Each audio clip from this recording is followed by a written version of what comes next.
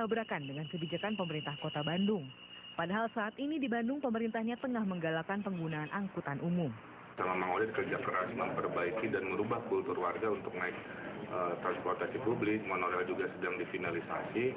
Tiba-tiba kelimpahan populasi mobil yang meningkat dan atau jadi apa merepotkan yang diubah itu harusnya kulturnya atau dizonisasi kalau alasan Pak Menteri bilangnya di Kalimantan di Indonesia eh, silakan aja konsep mobil ini dilakukan di daerah-daerah yang kurang mobil gitu kan hal yang berbeda dinyatakan Gubernur Jawa Timur Soekarwo Soekarwo menerima kebijakan pemerintah namun akan membuat regulasi untuk membatasi peredaran mobil murah di Jawa Timur.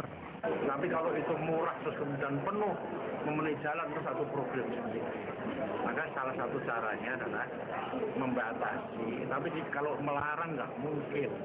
Karena itu memang kita harus merubah dari dari mobil yang Eh, mungkin udara kita tidak bagus ya.